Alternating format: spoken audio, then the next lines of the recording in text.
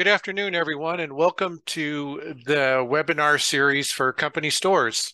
So it's going to be a three-part series that we cover uh, top to bottom company stores, starting off with uh, how to get started, uh, what custom products are. That'll be in part one.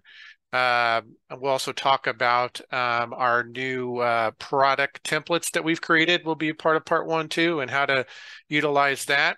Part two will be going more in depth into custom products, how to create them, how to edit them, um, how to then add them to a product list. And then part three will be uh, how to then transition all those products over onto a company store website.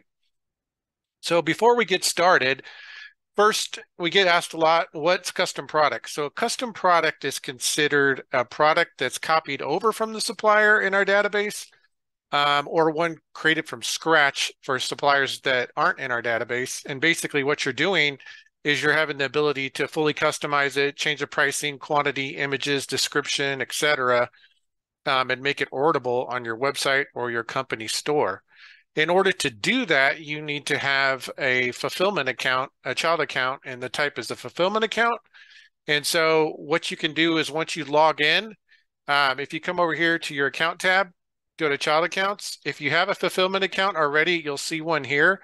And we only recommend one fulfillment account, um, even if you have multiple stores, because uh, you can create multiple different product lists to send them to the store they need to go to. So if you go here and you don't see a fulfillment account, um, this would be possibly a fulfillment account would be there if you've already created one, or if you created one, you know, a long time ago and it's just it's been in there, you didn't even know about it. So if it's here, you'll see a login, click the login. If you don't have one like here that's showing right now, what you'll do is you'll come over to products and go to my products fulfillment account. And what that's going to do is automatically create a fulfillment account for you, as you can see here. So now I have a fulfillment account, and this is where I'm going to house all my custom products. So once I'm in the fulfillment account, um, and if you, let's say you want to come back to this, I'll show you real quick. So you'll come up here to your initials, click switch account, switch accounts, go back to your account, child accounts, and you'll see that fulfillment, like I talked about, log in so you can access everything through your main account. So now we're in the fulfillment account. And now I'm going to talk to you about our new uh, feature with the product templates. So basically what we've done and you can see here at dc-stores.dc promo site, we've created a handful of product templates. Currently, there's about 20 of them. We uh, chose from the top suppliers and picked some of their products and basically created a simplified version of the product that you can utilize. You can use them all if you want, um, and you can also uh, pick and choose which ones you want. Uh, what I recommend doing is if you're not going to use these, um, I recommend at least copying over a uh, one of the hard goods and one of the apparel items to use as a template. And I'll go into more detail in that um, in the next video. So this is how where it is located, the dc-stores.dcpromosite.com, and I'll provide a link for you guys. Um, and so the way you access these is it's under a uh, private account of ours. So if you come in here to your fulfillment account, go to products, go to uh, advanced features, and then we're going to go to copy supplier products. Uh, here where it says supplier account, you're going to look for uh, DC stores and you'll scroll down here and you'll see it's nine account number 957298. So we're going to select that and then you're going to pick one of the item numbers. So in this case, I got one selected that I want to use. Uh, just leave everything checked. Now, when you're copying a product over from the suppliers, not this private for the uh, the product templates, but regular suppliers, there'll be different uh, data to copy that we recommend, and you'll see that in the next video. So as far as copying it over from the private account that we have with the simplified products the, for the product templates, you can just leave these all checked and then click submit. And then now I'm going to go back to form I'm going to go to supplier account again, DC, go to the stores, and I'm going to copy a hard good item over. Hit submit.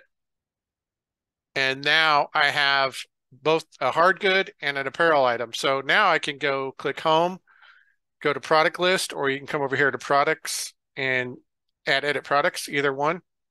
You can see those items are copied in, uh, ready to go. And so all I need to do now is if I want to change the pricing, I can edit this product. So like for instance, on this polo, if I came in here, clicked on pricing, and let's say I want to change this to uh, $40 instead of 42 as the default, I'll just change that to 40, hit save. Now I also, with the with the pricing, um, the way it works on the apparel is there's pricing on the product level and there's pricing on the choices. So just to kind of give you a brief breakdown of a custom product, we're looking at this example for a polo. So the choices would be the color and the size, the option. So the choices would be the color and the size. So you're looking at like, you know, uh, red, white, and blue as example, uh, small, medium, large, extra large for sizes. Those are all choices. The option would be the actual product color and product size. And then the product is just going to be like the name of the product, the item, the description, image, pricing. Um, so the product level is the easiest one to do. Um, so I always recommend, if you can, go start in the choices and kind of work your way back. So in this case, I changed the pricing on this item for uh, the Polo. I also need to come in here and go to edit choices. You can also go over here again and go products, edit choices. And what we did is when we set this up is we utilized the item number throughout the choices and the options to make it easier. Um, because normally when you copy it over from the supplier as is with all the options and choices, and like I said, we'll go into that more into the next video, but they might have a SKU number that's really long now. They know what that means and they know what product number that goes to. But when you copy it over, you're getting it as is and you have no idea what that means. So we tried to simplify it for you with these product templates that you can use either as is or you can use it um, as a template to create your own. And like I said, that'll get explained more in the next video. So with the one I'm looking at, um, if I type in the item number DC dash AP5, you can see here that it only pulls those up. So as I mentioned here, each color, each size is a choice. And then it's just connecting all those choices to an option for product color and size. And so I'll kind of go through that here real quickly so you can see that. So let's say that I wanted to, since I changed the pricing to $40, if I, I need to come in here and change the pricing on all these. So small through um, extra large is going to be the $40. So I need to come in here and do that. And I'm just going to do it on small. And then you get the idea. Just do it for medium, large, uh, extra large. And then the bigger sizes, so the 2XL, let's say that's going to be $2 more. So now instead of that being 44, which is what it pulled in with the price, I click edit, go to pricing, that's going to get dropped to 42. And then I just need to make sure that I have all the pricing updated for the larger sizes. So you're listing the full cost with the upcharge in there. Uh, another thing you can do is if you wanted to add another color. Um, so like right now it's got black and brilliant orange um, as the colors to choose from and navy. Um, so let's say you wanted to add white. You could literally come in here to one of the choices that's already created, click add similar, and then just change the color here from black to white. Going to be the same item number, hit save, and then you would continue to do that on, just could add similar and do that for medium, large, extra large, however, what size you go up to. Once you get all that done, then you'll jump over to the options and you can see here, there's the item number again. So I'm going to click edit here and now I can go to choices. And from choices, you can see the one that I just created, the white small. So I move that over, hit save, go to ordering to make sure it's all in order. And we'll, like I said, we'll go over more detailed in the next video. Just want to show you guys an example. So I've already put these in order, but I want this to be at the bottom. So I'm going to shoot that to the bottom because I want it to go white small, white medium, I want to continue on with that. Uh, hit save. and then you're good to go. So the only other thing that you'll need to get the product actually onto your website is create a product list, and we'll discuss that uh, in the next video. But just wanted to show you guys this option. Um, it's new um, and it makes things a lot easier.